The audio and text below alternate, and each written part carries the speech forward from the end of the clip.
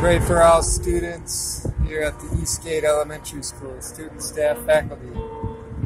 God be with you and bless you.